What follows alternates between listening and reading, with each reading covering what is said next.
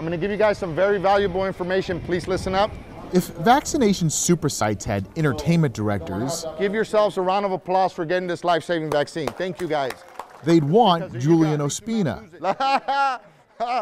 To me, this is my call of duty to my community. We know that this is a, a very devastating virus. That doesn't mean take the mask off and let's run off to the casinos, to Tijuana, to LA. The Navy veteran volunteered at this Chula Vista location when the doors opened three weeks ago. I was driving down the street and I saw the tent come up and I knew that they were going to open a vaccination super center. You guys were issued a vaccination card. He found his way to the observation area where people go for 15 minutes after getting their vaccine. Any other questions? And that's where he's needed most. Can I have a glass of wine, some beer, a tequila?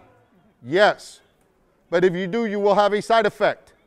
And it's this if you have too many of them. Well, of course, it makes you feel good. That's what, you, what we want. We want people to come in here and have a good experience. Do not try to run away. I will catch you. Julian found humor helps settle the nerves. That is the main goal, is to, to reassure them that this is a good thing. And some people get it even worse. in English and Spanish. Derecho well, I am a paramedic and I also have degrees in psychiatric rehab, so I knew that I could use those combined to help people here. Very simple process.